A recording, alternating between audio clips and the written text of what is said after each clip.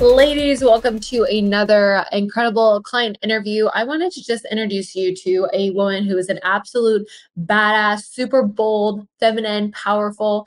And not only does she show up for herself in a really incredible way, but she shows up for so many women all over the place. Uh, Jessie is just an incredible powerhouse. Not only has she been able to create an incredible show called Whiskey Wednesday, um, but she's also been able to create community um, to pour into people, to show up really, really powerfully and make people feel important, feel seen, bring attention to um, issues in business that we need to be focusing on and providing incredible resources for us so that we can have access to things that we might not have access to prior.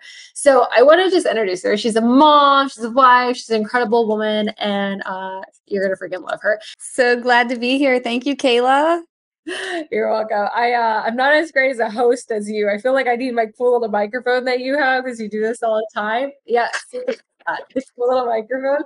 Um, but I just I love you and I love you know what you're trying to do here and the community that you've created, as well as being a part of our community. Um, but I did not do your show justice. So can you explain to everyone, you know, who you are and like what you do and why Whiskey Wednesday is so freaking epic? Oh, Kayla, thank you so much for saying that. That means the world coming from you. Um, but Whiskey Wednesday is a show that is less about whiskey and more about sales and marketing alignment. And I feel like my red light's making me look all sunburned, but I thought I'd put on my red for your show. but yes, we focus primarily in the B2B space, and I try to bring on thought leaders in sales as well as marketing to really talk about alignment. So it, it gets into a lot of different things. As you know, there's a lot that goes to sales. There's cold calling, there's outbound email, there's community. And um, especially these days, there's so much that sales and marketing people can do to align. Because as we say on Whiskey Wednesday, the best salespeople are marketers. And wow, you're an exceptional example of that, Kayla. I know so many people in your community who are paid members who have told me they were sold before like they even got on the call with you. Um, you know like one of them i was literally talking to this weekend she said you know i didn't even want to have to have the call i just wanted to pay to sign up. And so you know you are an exceptional example of a salesperson who is a really great marketer. Um, and there are a lot of really great marketers out there who are also salespeople and mm-hmm. we just get into all those conversations and the overlap of them and what it means to be in sales in the 21st century, what it means to be in marketing in the 21st century. And yeah, yeah we have fun. Yeah, and I think that you're downplaying a little bit. You have, you know, thousands upon thousands of people that watch your show every week, right? And um, I'm just like really, really proud for what you're doing and what you're creating. Can you explain something to us? Because we talked about the 21st century sales, 21st century marketing. And I definitely have my own perspective when it comes to us consumers like evolving and wanting more and wanting things different. Like, what do you think you know, is the main issue that people are experiencing right now, whether it's sales, whether it's marketing, when it comes to this new generation, when it comes to like people uh, evolving and expanding, like because sales has definitely changed over the past 10 years. What are you seeing on, on your side that you can give us some insight on? Oh, great question. There's so much we could unpack there, but um, I would focus on, you know, people connect with people more so than people connect with brands. And I think that's only going to become more and more prevalent as we move into the age of like Web3, where literally all of our online activity is going to be like tied back to us in our personal wallet. So, like, even though I may work for this company, I am still representing them as an individual. And as I am buying and purchasing things, I'm doing it with other individuals. So I think for salespeople and for marketers and for companies, I think personal branding is going to be key. And it really is something that we always come back to on Whiskey Wednesday too, is because, you know, everyone's on social media. So you need to have a personal pres- presence, whether you're in sales or marketing. Okay, so let me ask you a second question. How important is it for you to have authenticity in your personal brand, like your perspective? That's that's really where like you're going to be able to stay ahead of the you know curve because i just got off this podcast the sales and ai podcast actually and he was asking sort of the same thing is like how do we stay ahead of this and it's like whoever can continue to be the most human and be a pattern interrupter because AI is going to continue to catch up to whatever we do. I was given examples of like how I create content on LinkedIn, even with AI. Yeah. And I know some things that AI can't do. So I know how to make it look human. And but pretty soon AI will figure that out. And then I'll have to find a new trick. You know what I mean? So like we just have to stay ahead of it and always being and looking, appearing authentic and wow. showing up in these apps native to them. You know, like if I'm in LinkedIn, I don't want to be given a link to Facebook. You know, so you want to build for natively for the app and the ecosystem that you're in. Yeah, no, I agree with you. And I, I I talk about you using a personal brand if you're a sales rep right? I feel like so many people like, oh, I don't want to be in front. I don't want to be in front of people. I'm telling you, especially when things cost so expensive and you're in high ticket sales or you're in really high B2B sales, like people are going to look you up. Like it's yeah. just what it is. If I'm spending six figures on something, you know I'm going to look up your LinkedIn. You know I'm going to look and see if you're legitimate. I'm going to do my due diligence. If I'm in B2C and let's say I'm spending 10 grand on something, I'm going to do the same thing with the rep that I'm talking to. And the thing is, is that sometimes what I see is that maybe you don't want to show up on social media. And then I look at your profile and then the picture is like you holding up a fish or like it's something really far away and you look like you're not a real person. You look like a bot. You haven't posted in five years.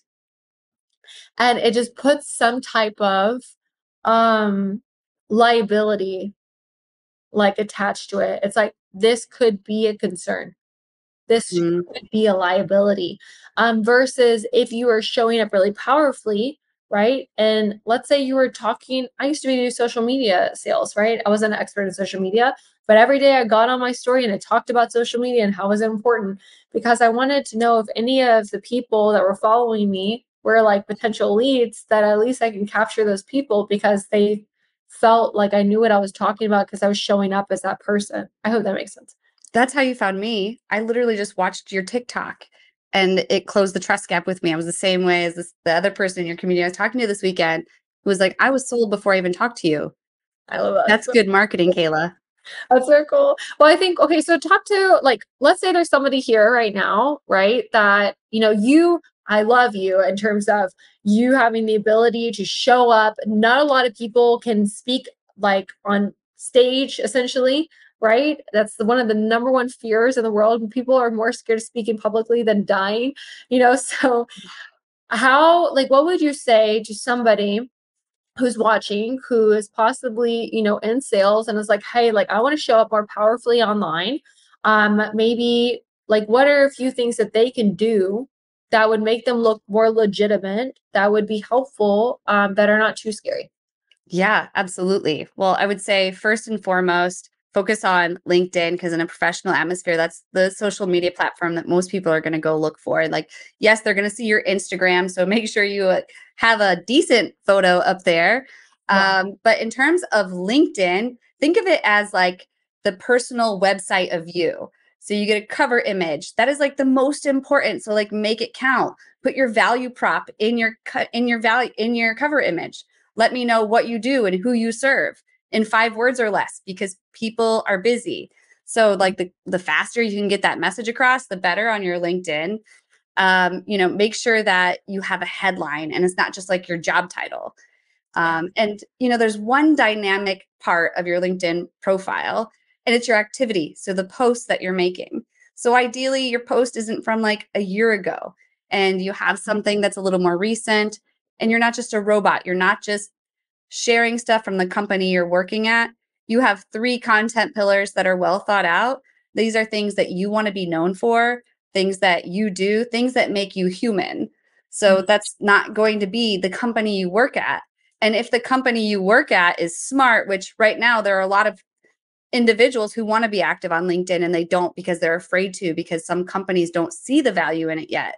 So that's sort of where we are, like in terms of like 21st century marketing, yeah. um, is like those companies that empower and equip their sales teams to have a professional personal page. Those are the ones who are going to win out because, as you said, people, their buyers are going to be looking at them. And so, like, there are things you can do on your personal page to make sure that at least when they land on the personal website of you, that's how you should be thinking of it, that they they're going to have somewhere to go to. It's probably going to have a link. So if you have creator mode on LinkedIn, you can put a website in there. So okay. like where are you sending your viewers to? You know, you want to think those things through. But um, yeah, I would say the cover image is probably the most important because when they land there, that's what they see. And half of the people are not even going to scroll down any further. Yeah. No, I think that it, LinkedIn is important. and I think that people that don't want to be um, multifaceted on terms of like social media platforms are missing opportunities right like even if you just get in there and just be consistent do like one thing a week or like just get in there a little bit it's really really helpful um i a few years ago i was reviewing about 40 pitch decks a month um, to see if they would be credible for investors. And the first thing they had me do, um, and it was like for a big, big company, they had me go and look at every single social media platform that this company would have and see uh, any discrepancies right? And the first thing that they were doing is saying like how many times did they post? Or like this company doesn't even look active right? And the thing is is that when you're a sales rep like you are like your own business. You're producing money for yourself. You're producing commissions. So it's like you need to show up powerfully. And the best way to do that is like hi i'm alive. Hey like now, please don't like politically like throw up all over your um, you know page. Like use a little bit of common sense. We don't want to be too biased because we don't want to be a liability when it comes to you know losing or gaining sales. Um, unless you're selling for a political campaign, and then maybe I would be doing that. you know, making sure that you look um, safe. It's a good word. You look safe to and trustworthy in order for somebody to be giving you their credit card or wiring you the funds to be able to give them whatever result you know you're representing um I want to talk about the community that you've built because your community is super cool. And not only do you do your show, but afterwards you have like a little like get together, um, which I don't see any other show doing that. And it's brought such um, a reoccurring base of people coming into your show because they feel like they're a part of partisan, they feel like they're a community and family. Um, and that's what I pride myself on, you know, like our community and an elite saleswoman feels like a family. Um, so I would love for you to talk about, you know, your community that you've built and then your experience that you've had over here as well. So I can hear your perspective. Oh, yeah, absolutely. I love the topic of community. I feel like that is another thing that is not going to go away. It's only going to become more popular as we build personal brands. Because I'll be honest, like if you look at my LinkedIn, you'll see that I get a lot of engagement there but it's primarily because of what I do in community. Mm-hmm. And so, like, when I think of community, I think of, you know, groups that I'm in a um, sales, one of my favorite communities is actually a sales community besides yours. Um, and, you know, it's really because salespeople tend to be people who understand the importance of personal branding yeah. Um, a lot more than marketers, uh, surprisingly. Um, marketers can be scared of personal branding sometimes because they can see it as a liability, as some of the things you were explaining. But community to me is so important because that's you know you'll find different communities based on different niches. So like i'm in a saas sales community and they specifically talk about outbound email. So it's like very niche. And that's a community in whatsapp that i've built a lot of great relationships on. One of the sales calls that i was telling you about it came from lead a lead out of that community. You know it's just you you get to know people on a different level. And I think of community too is like it kind of reminds me of like a chat room, like back in the day, you know, you'd have like a chat room where it's just like an endless flow of conversation and there's just always people there talking. So like and then if I have a LinkedIn post that I want people to go visit, I can drop it in the community and people who are engaging at that moment might see it. Mm-hmm. So like there's that community, there's my community, Reveting Whiskey Wednesday. I try to get people to come share their wins. Like it's a safe place to share your wins, people. And it's surprising to me how controversial that can be because a lot of people are like, if you're always winning, there must be a problem. And I'm like, well, Ooh, that's interesting. Yeah, I know. I get so I get that, but like, no, I continue to push. Like, let's share your wins. Whether your win is like you took 20 minutes to like take a bath and relax, like that is a major win. Or if you like closed a six figure deal, like that is also obviously a win. Um, but yeah, I have a couple channels. My community is built in Slack. So I have a live stream accountability channel in there. I have a women's channel in there. These are all sales and marketers in the B2B, primarily in the SaaS space. Okay. Um, and then the general room, which is where we're sharing our wins because it's Whiskey Wednesday. Oh, I love that. I, I think that people get to share wins. You know, um, people get to have the chance of having their voice heard. And the problem why people have a hard time with that, from my experience, is that um, most people don't have the experience of what it's like to really be seen. Mm. And it being okay to be seen and to be heard and to be validated and to be worthy of whatever they're talking about, right? So, um, like shifting that experience for people, I think is, is really, really powerful. People feeling permission to voice whatever's going on and people cheering them on is a mindset shift that gets to happen. Um, what is your experience like from our group, from our community? Like, how has that, you know, changed stuff for you um, in terms of, you know, women in the group? I know that you went and visited, you know, um, one of the women in our group this past week, Susan. She's awesome. She's been on here as well. So, how has that experience been for you? Um, does it feel close? Does it feel community? Does it feel like family? Like, what is the experience like so I can understand how supported you actually feel? For me, it's been really healing. Mm. Um, just coming out of um, originally in my career, I started in politics, so one male dominated field yes. to tech, which I went into. The B2B SaaS started in 2015. Always sort of doing the same thing, like email marketing, social media. Um, but primarily male dominated industries. So wasn't around a lot of other women. And um, coming into your group, it was exactly what I needed um, just to be around other women, because I'm not around other women, I'd say in my life otherwise, but women who have this same desire to want to grow and better themselves and make more money and mm-hmm. being okay with making more money and um, you know, also being moms. Like there are a lot of moms in that group. And so being in the Midwest and being a mom, you know, I don't really fit in in a lot of groups because a lot of the moms meet during the day when I'm working. And, you know, it's just like, I've never been able to go to the, the play dates and stuff like that. So it's nice to have a group where I can connect with other female entrepreneurs and saleswomen who are out there doing the same thing as me and it's okay. So it's been really healing for me. Mm. And that's just so interesting that you said that, Jessie, about like feeling like you can't go to the the daytime things. I'm in Scottsdale here, and um, I went to like one of my daughter's like dance classes. I was like, "Oh, do y'all have anything for adults?" Or like, "We do it every morning at 10 a.m." And in my mind, I was like, "Who can go to that?" I tell you, right? And then we were like doing Pilates that early, and like, oh, I'm like I was supposed to wake up, I was supposed to get my stroller, and I was supposed to go to the dates, which is like I never had that luxury of doing anything like that. And it just mm-hmm. mind blowing to me. So I fully understand what you're saying. Like, how do we get to feel like we're connected to something when you're a mom and you're working? Because the other moms don't get it, right? Right. pissed off at me because she has a play um, at school. And instead of going to her play, I'm taking her to Miami for Mother's Day weekend. And she's so upset because now she can't be in the play.